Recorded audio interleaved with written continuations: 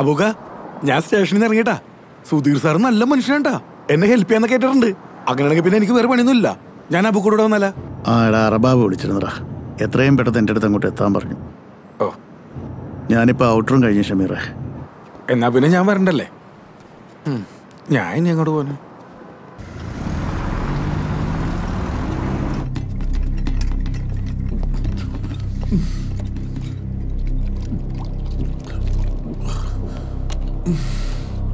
അയാളെന്നെ കൊല്ലും. ഉറപ്പായിട്ട് കൊല്ലും. നിനക്കറിയോ? ദാ എന്റെ നെറ്റിയിൽ ഇങ്ങനെയാ തോക്കെടുത്ത് വെച്ചിരുന്നത്. നിങ്ങളൊന്ന് സമാധാനമായിട്ട് ഇരിക്കേണ്ട മനുഷ്യ. ഇതെന്നെ വെള്ളരിക്കപ്പെട്ടണോ? എന്റെ ബ്ലസ്സി നിനക്ക് മനസ്സിലാവാത്തോണ്ടാ. അയാളത് ചെയ്യും ബ്ലസ്സി. മെഞ്ഞാന്ന് വേറൊരു ഫ്രണ്ടിന് അയാൾ തോക്ക് ചൂണ്ടി എന്നാ പറഞ്ഞു കേട്ടത്. അത് മാത്രല്ല മാടാ ഈ അവസാനമായിട്ട് കണ്ടത് ഞാനാ. എല്ലാം കുഴപ്പ. മാടായി അയാളുടെ കൊഴുപ്പിന് ചാടി മരിച്ചതിന് സോണിച്ചൻ എന്നാ. എന്താ സോണിച്ചന്റെ ഇപ്പോഴത്തെ പ്രോബ്ലം? അയാൾ തോക്ക് ചൂണ്ടിയതാണോ? അതോ മാടായി മരിച്ചതാണോ? എനിക്ക് മതിയായി. ഞാൻ എത്ര ഓണസ്റ്റ് ആയിട്ടും ആത്മാർത്ഥമായിട്ട് ജോലി ചെയ്താലും ലാസ്റ്റ് കണ്ടില്ലേ? എനിക്ക് പേടിയാ. ഇപ്പൊ എന്താ വേണ്ടത്? അത് പറ. പറയുന്നേ. നമുക്ക് നമുക്ക് ഈ നാട് വേണ്ട ബ്ലസ്സി നമുക്ക് റിസൈൻ ചെയ്യാം. റിസൈൻ ചെയ്ത് നാട്ടിൽ പോവാ. സോണിച്ചൻ എന്നതൊക്കെ ഈ പറയുന്നേ? മൂന്നര കൊല്ലം രാവും പകരം മാട് പോലെ പണിയെടുത്തിട്ട് എനിക്ക് കിട്ടിയ പ്രൊമോഷന് ജോലി റിസൈൻ ചെയ്യാനോ? മടുത്ത് ബ്ലസ്സി മടുത്ത് കണ്ടവന്റെയൊക്കെ ആട്ടും തുമ്പ് കേട്ടിട്ട് നമുക്ക് നാട്ടിൽ പോവാം. നാട്ടിൽ പോയിട്ട്? പോയിട്ട്. പറ. നാട്ടിൽ പോയിട്ട് ഇവിടെ ഓഫീസിലെ പത്തോ ഇരുപതോ ആളുടെ മുന്നിൽ പട്ടിയായാൽ മതി.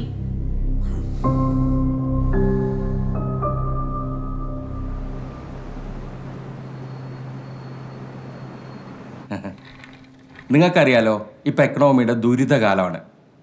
Crisis recession what not sir എന്താ പറഞ്ഞു വരുന്നതെന്ന് അങ്ങോട്ട് മനസ്സിലാവുന്നില്ല. You need to rework this quotation sorry ആ ഹലോ ഹീമ സർ അദ്ദേഹം ഇവിടെ വെയിറ്റ് ചെയ്യുന്നുണ്ടെന്ന് പറയാൻ പറഞ്ഞു. അതിനെന്താ? വെയിറ്റ് ചെയ്തോട്ടെ. വെയിറ്റിംഗ് ചാർജ് ഒന്നും നമ്മൾ ഈടാക്കുന്നില്ലല്ലോ. ഉണ്ടോ? വന്നിട്ട് ഒന്നര മണിക്കൂറിലായുള്ളൂ ഇപ്പം എന്താ പൈനാപ്പിൾ ജ്യൂസാ കൊടുത്ത്? ഒരു അവക്കാടോ കൂടി കൊടുക്ക്. മൂന്നിട്ട് അവിടെ ഇരിക്കട്ടെ. യു വേണ്ട avocado no thank you sir ആവശ്യം അയാളുടേതല്ലേ? എന്റെ സമയത്തിന് വേണ്ടി കാത്തിരിക്കേണ്ടി വരും. അല്ല സാറിനോടൊന്ന് പറയാൻ എന്നോട് പറഞ്ഞു. ആണോ? കൊടു. ഹലോ പറയൂ സർ ഗുഡ് മോർണിംഗ് ഞാൻ ഒന്ന് രണ്ട് മണിക്കൂറായി വെയിറ്റ് ചെയ്യുന്നു. എനിക്ക് അല്പം തിരക്കുണ്ടായിരുന്നു. ഞാൻ അതിലും തിരക്കിലാണ് സാർ നമ്മൾ സംസാരിച്ച കാര്യം ഒരു തീരുമാനമാക്കണ്ടേ? നിങ്ങൾ ഈ രണ്ട് മില്യൺ മൂന്ന് മില്യൺ എന്നൊന്നും പറഞ്ഞാൽ നടക്കില്ല സാർ മാക്സിമം ഒരു ത്രീ ഫിഫ്റ്റി തൗസൻഡ് ദിർഹംസ് അതും അഡ്വാൻസ് ഒരു ten if you are okay just wait for me the otherwise you may go sir ആ അപ്പം എങ്ങനെയാണ് സുരേഷ്? നമ്മളത് റിവർക്ക് ചെയ്യല്ലേ? ഓക്കെ ആ താങ്ക് യു താങ്ക് യു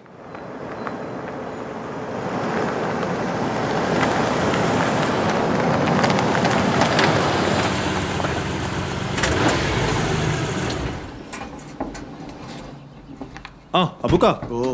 ഇന്ന് കുറച്ച് ലേറ്റ് ആയല്ല. ട്രാഫിക്കിൽ കുടുങ്ങിപ്പോയി. ആ. ജോയിമോൻ അന്വേഷിച്ചായിരുന്നോ? ജോയ്മോൻ ഇടക്കൊന്ന് തിരക്കായിരുന്നു. പ്രശ്നമല്ല ഉണ്ടോ? ഒരു പ്രശ്നമില്ല പുള്ളി ആക്ച്വലി നമ്മുടെ പെരുന്നാപ്പടി തരാൻ വേണ്ടി വന്നതാ. അതിന് വേണ്ടി വന്നപ്പോഴത്തേക്കും അന്വേഷിച്ചതാ.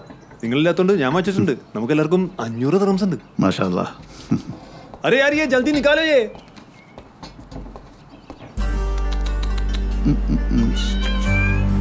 ഒന്നും കഴിച്ചില്ലടാ.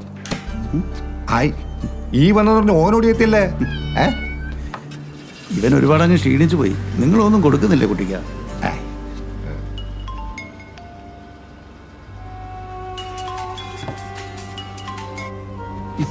പോടാ.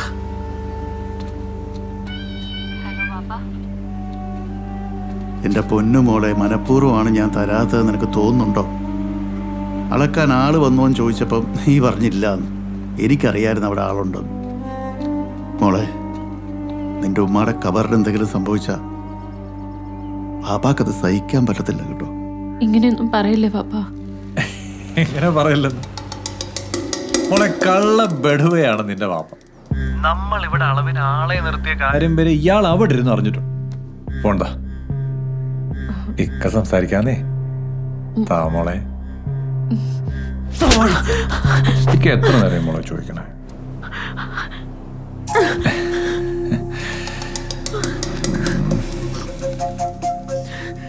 മാമ മാമയുടെ ബുദ്ധിമുട്ട് ജെസിക്ക് പറഞ്ഞാൽ മനസ്സിലാവൂ നൗഷാദേ കാശ് കിട്ടും. ഇന്നല്ലെങ്കിൽ നാളെ ഞാൻ എങ്ങനെയെങ്കിലും ഒപ്പിച്ചു തരാം. പക്ഷെ ഒരു അപേക്ഷയുണ്ട്. എന്റെ കൊച്ചിന്റെ ദേഹത്ത് നീ കൈവെക്കരുത്.